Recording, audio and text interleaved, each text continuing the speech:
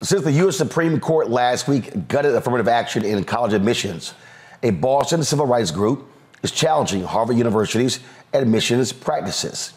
The group contends that legacy admissions, which constitutes individuals uh, who have uh, family members who graduated from that particular school, giving them a leg up in admissions, uh, they are saying that discriminates against students of color, the lawyers for civil rights on behalf of black and Latino community groups in New England filed the civil rights complaint alleging that Harvard's practice of giving priority to the children of alums violates the 1964 Civil Rights Act.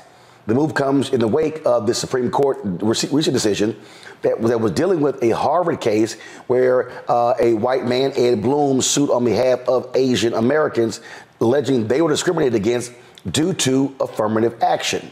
Now, many of us have talked about legacy and what it means and how actually more people are discriminated against due to legacy.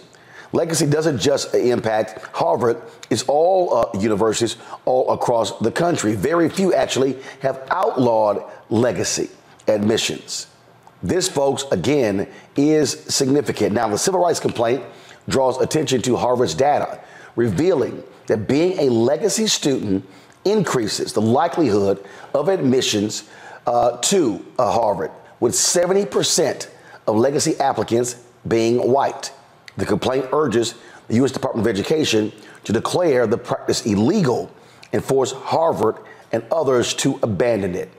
Dr. Mustafa Santiago Ali, former senior advisor for environmental justice at the EPA, uh, DC, uh, he's with us.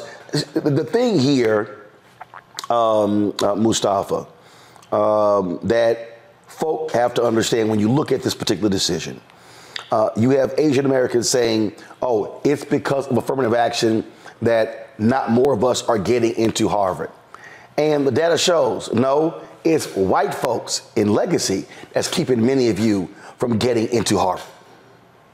Yeah, we know legacy is sort of like having a platinum card. It, it, helps you to open doors. And when we have these types of situations going on, and many times people just don't understand the dynamics that are happening behind the scenes when decisions are actually being made, and they go with these these old antiquated narratives. Uh, black folks are getting something, or black and brown folks are, are getting something when they're not qualified. So we should make sure we eliminate that by folks understanding that you know the students who are applying to these schools um, uh, they have the grades. It is just that they often don't have those leverage points or the privilege to be able to get in when it comes to you know uh, in relationship to to our folks. So we know legacy uh, gives um, in many instances those white students that that uh, additional leg up, if you will, um, and allows them to get in. And sometimes some studies have even showed when they didn't necessarily meet the requirements. Um, so you know putting a spotlight on this is going to be very revealing for folks uh, is absolutely going to be revealing. And, and, and what you're seeing here, what you're seeing uh, when you have, um, again, Asian Americans making this claim look, they want to be a part of the elite institutions, but they are elite for a reason. They are white for a reason. And we know exactly what that is. We understand the reality of racism in this country. There's a reason why Harvard has a $40 billion endowment. It's because those white folks have been, by, by going there, getting many of the top jobs, they're able to build up that massive wealth. You cannot escape the reality of wealth and whiteness from Ivy League institutions and America. Yeah, it is power and it is privilege. That's really what the Supreme Court case was about. Was about power. We understand that education is supposed to be an opportunity to level the playing field.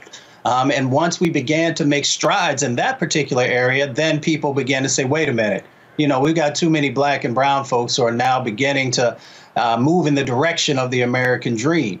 Um, and we also understand that the historical uh, aspects that are tied to education were built for white men. Um, and then, after long, hard fights, of course, some white women were able to uh, actually move into that space as well. Um, so we see once again, this is about power and privilege. Um, and you know, we need our those. Uh, and I want to make sure that we don't put a broad brush on all Asian brothers and sisters because there are many who do stand in solidarity with our communities. But for that that percentage that allowed themselves to be used um, to create this very um, devastating situation. um, understand that the history was never meant for you or us. Um, and that we actually need to stand together to make sure that we're dealing with these injustices that are happening from the Supreme Court.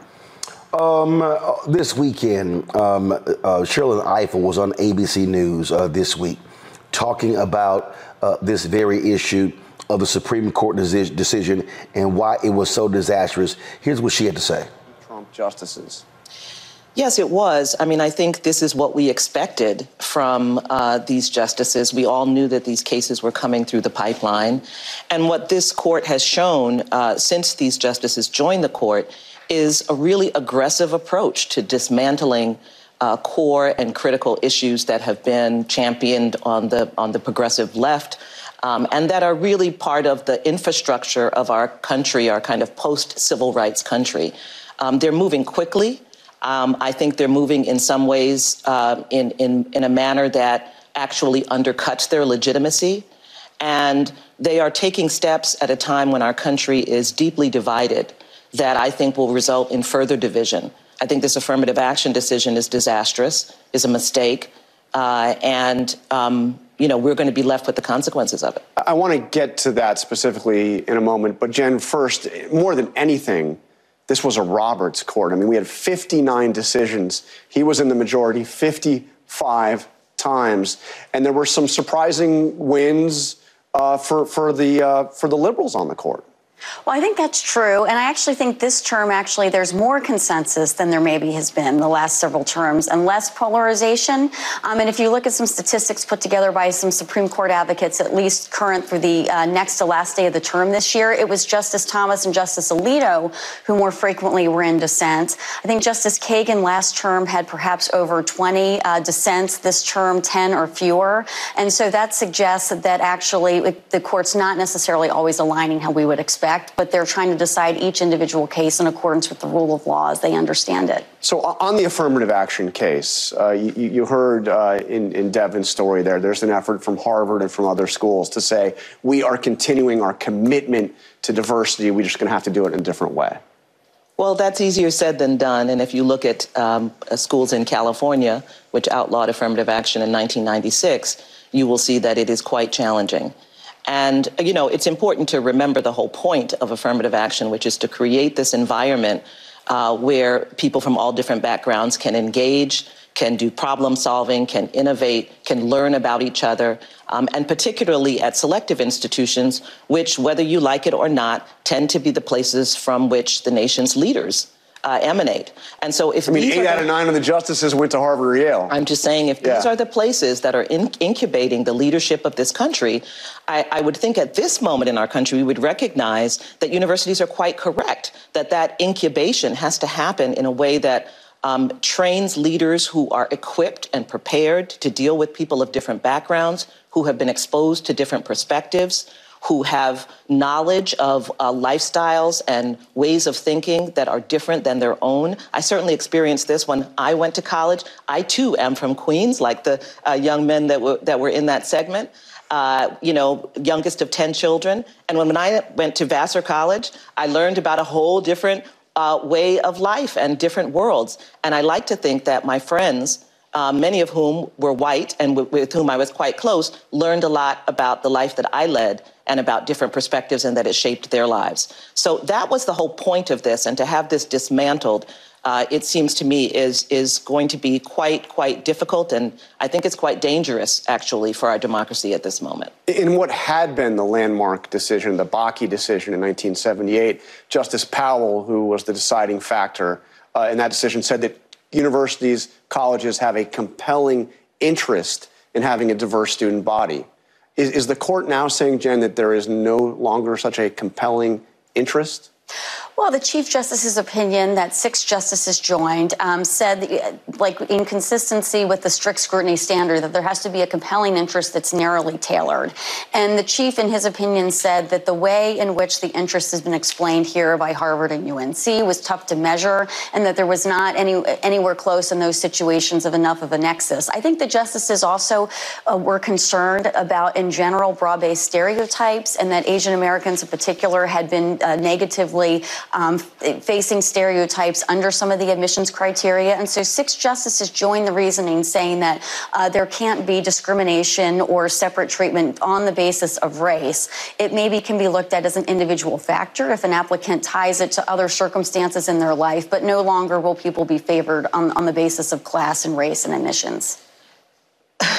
Well, see, that's difficult because, in fact, this is a holistic admissions process that actually doesn't just look at race isolated and independently, but within the context of many other factors. And I think what I find most disturbing about the, the majority's decision in this case is that in both of these cases, there were trials. There was extensive evidence that was submitted. There were expert witnesses. There were graphs. There were charts. Uh, there were student, uh, students who testified in favor of affirmative action.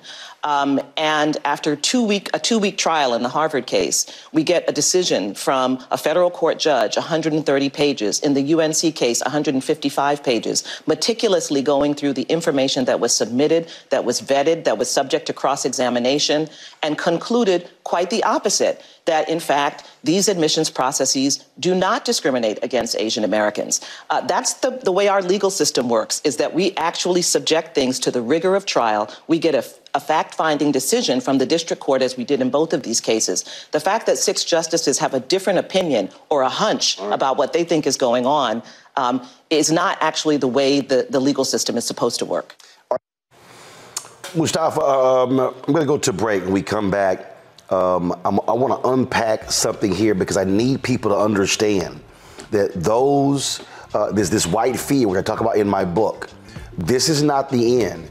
Ed Blum, he's already made clear they want to go after corporate America next. They want to go after all of the places in our society where uh, they have been advocating on behalf of affirmative action uh, and, and cr- increasing opportunities. This is about maintaining whiteness, even if they're using Asian folk to do it.